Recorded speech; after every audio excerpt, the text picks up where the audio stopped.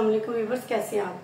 आज मैं आपको हलवा कद्दू और बकरे का गोश्त बनाना बताऊँगी। बेहद आसानी के साथ आइए बनाते हैं। जी वीवर ये देखें, ये एक किलो का है। ठीक है जी, इसको मैंने दो टुकड़ों में काटा। अभी मैं छील कर इसके टुकड़े करूँगी। ठीक है जी, ये सवा किलो, एक किलो के करीब है। इसमें एक पाव टमाटर जाएँगे। ठीक है जी, और ये आधा किलो गोश्त है। ठीक और ये एक छोटा सा प्याज क्योंकि इसलिए कि ये खुद मीठा होता है। और उसमें सिर्फ़ अभी जो चढ़ाने के लिए हम करेंगे, लहसुन पाउडर, अदरक पाउडर और नमक, हसबे जायका। ये हम गोश्त को इसमें डालेंगे। नमक, अदरक और लहसुन ये डालेंगे। और इसमें मोटा मोटा प्याज काट कर डाल देंगे। ये खुद ही गल जाएगा। ठीक है जी? और यहाँ पे गोश्त जल्दी गलता है तो ये वाला मैं एक कप पानी का डालूँगी। ठीक है जी? अब मैं इसको, अभी इसमें और कुछ नहीं डालेंगे। मैं इसको गोश्त को गला लूँगी और अच्छी तरह जब गल जाए, फिर मैं आपको दिखाती हूँ। जी वीवर ये देखें, ये मैंने क्यूब काट लिए। ऐसे छिलके उतारें और उसके बीज निकाल दें और क्यूब काट लें। ये हमारा हलवा कद्दू तैयार है। ये मैंने टमाटर भी एक पाव काट लिए हैं।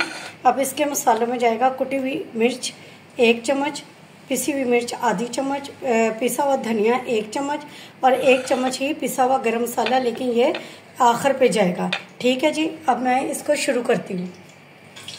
जी, ये देखें व्यूवर्स हमारा गोश्त भी बहुत अच्छे तरीके से गल गया, ये भी तैयार हो गया। ठीक है जी।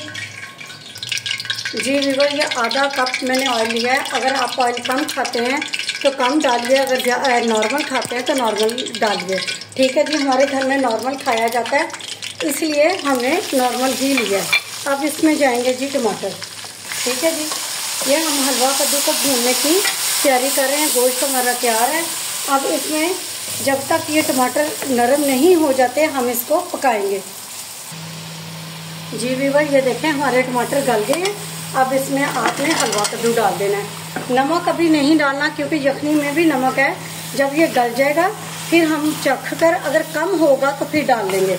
ठीक है जी, अब इसको मैं कम से कम पंद्रह मिनट इसको खूब रोस्ट करूँगी। जी वीवर, ये देखें, ये मुझे दस मिनट हो गए भूनते हुए। अब मैं इसी की आँच को हल्का करके इसको दम लगा दूँगी गलने तक। जब ये गल जाएगा, फिर मैं आपको डिश में निकाल के दिखाती हूँ। ठीक है जी? जी वीवर, ये देखें, मैंने बताया ना कि ये मैंने भून लिया है। अब इसमें गोश्त भी चला गया अब मैं इसको मिक्स करके तो इसको दम लगाऊँगी गलने तक। फिर डिश में निकालती हूँ। जी वीवर ये देखें। बहुत अच्छे से ये हलवा कद्दू और गोश्त तैयार हो गया। अब ये गरम मसाला इसके ऊपर डालेंगे और इसको डिश में निकालेंगे अभी मैं डिश में निकाल के दिखाती हूँ।